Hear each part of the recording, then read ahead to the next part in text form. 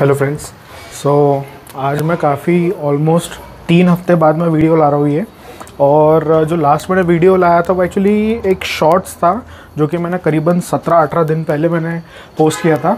आप लोग सोच रहे हो कि काफ़ी टाइम से मैंने अपडेट नहीं किया, कुछ नहीं किया। एक्चुअली कुछ रीज़न है, वो मैं आप लोग को बताऊँगा आज वीडियो में। अभी फ़िश रूम का आप अपडेट देता हूँ कि क्या हुआ है। आ गए हम टेरेस में लाइट शुरू करते हैं रूम का। आई होप वो लोग सो रहे होंगे। सॉरी उनको डिस्टर्ब करने के लिए।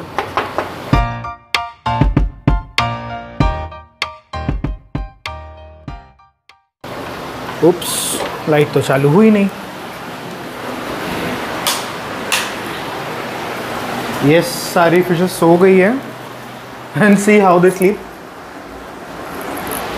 unconscious हो जाते हैं टोटली सब नीचे के नीचे सो रहे हैं।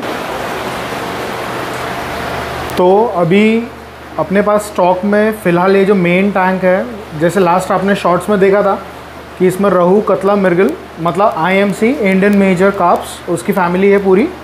ये लिटरली बहुत बहुत ज़बरदस्त दिखता है मतलब नो डाउट ये फ्यूचर फीडर्स है बट ये इन लोगों का स्कूलिंग में घूमना, एक साथ स्विम करके जाना कॉर्नर में, फिर उसके बाद अंदर में एकदम काप्स भी दिख रहे होंगे। देखिए कैसे स्विम करते एक साथ ये। बहुत बहुत सुंदर दिखता है ये। स्कूलिंग फ़िश है। पूरे एक साथ स्विम कर रहे हैं। तो इवन आप देख रहे होंगे यहाँ नीचे एक्चुअली ग्लास भी हेज़ी है साथ साथ तो मैंने अभी फ़िलहाल फ़िल्टर में अभी अभी भी मैंने स्पंच ऐड नहीं किया है, इसलिए अभी बहुत ज़्यादा मतलब हेज़ी हो रहा है, थोड़ा सा मर्किश हो रहा है पानी। बट इवन जो काप्स है काप्स का भी साइज़ अभी बहुत बेहतरीन साइज़ से बढ़ गया है। अभी करीबन डेढ़ से दो इंच के आसपास उनका साइज़ बढ़ा हुआ है और बहुत अच्छी तरीके से फीडिंग ले रहे हैं। इसमें हाँ हालाँकि मैंने इसमें अभी फीडिंग मैंने चेंज किया है लास्ट टाइम जैसे आप लोगों को मैंने बताया था कि मेरे पास मतलब ये दो अभी फ़िलहाल फ़ीड कर रहा हूँ।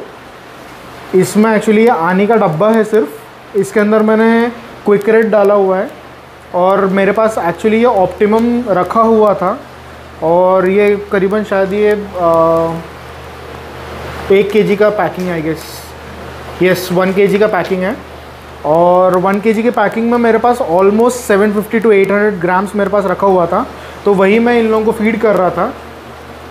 तो आप लोग ने जैसे अभी थोड़ा देखा होगा क्लिप में कि मैं अभी न्यू फ़ीड मैंने इन लोगों को फ़ीड देना चालू किया है और they are absolutely loving it और उनका साइज़ बहुत अच्छा पकड़ा है और वो जो फ़ूड है, वो कमर्शियल फ़ूड है, जो जनरली फार्मर्स यूज़ करते हैं और वो जो फ़ूड है, वो ये है।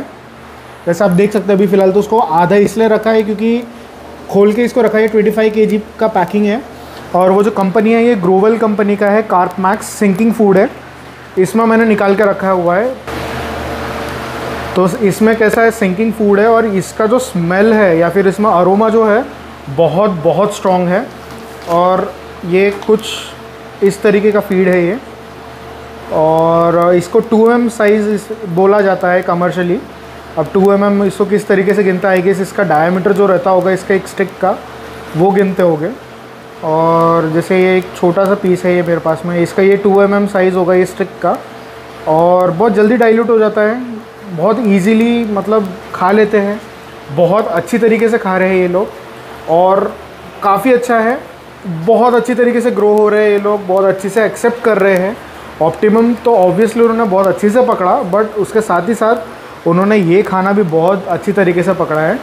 रही बात अब ये टैंक में। ये टैंक में अभी फ़िलहाल अपने पास में इसमें सिर्फ़ और सिर्फ़ अभी एक ये फीमेल फ्लावरॉन है और ये लीमा कैटफिश का पैर है and upside down upside down का भी पैर है इसके अंदर। ये आपको बैक साइड में दिख रहा होगा अपसाइड डाउन का पैर है एक इसमें।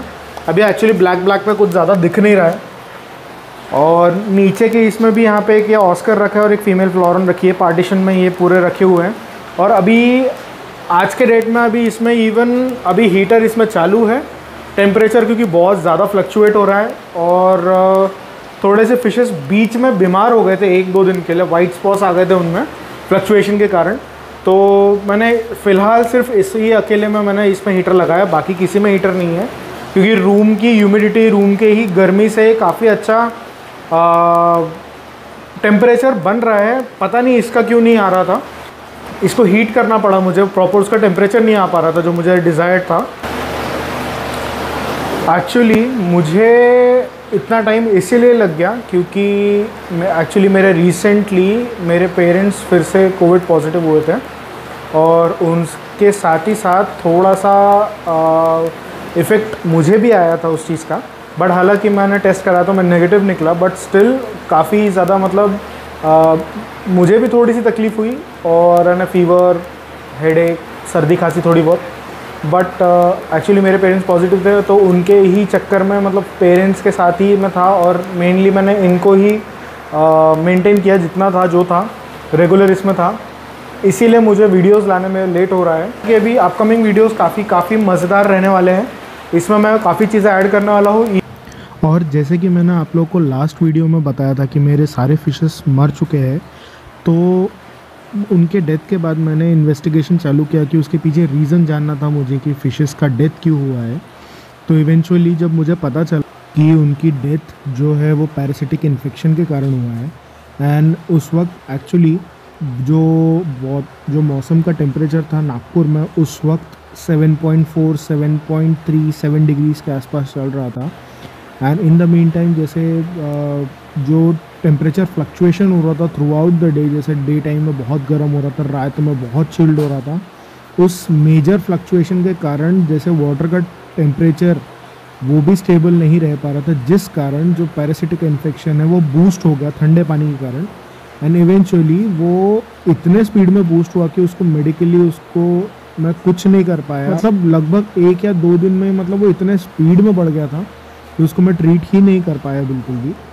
तो उस कारण फिशेस का डेथ हुआ। एंड uh, उसके बाद ही मैंने फिर uh, कुछ चीज़ सोचा कि uh, मैं अभी फ़िलहाल स्टॉक नहीं लाऊँगा जो कि मैंने लास्ट अपने वीडियो में कहा था कि अपना जैसे ही सीज़न ख़त्म होता है उसके बाद ही मैं अपना न्यू स्टॉक लाऊँगा।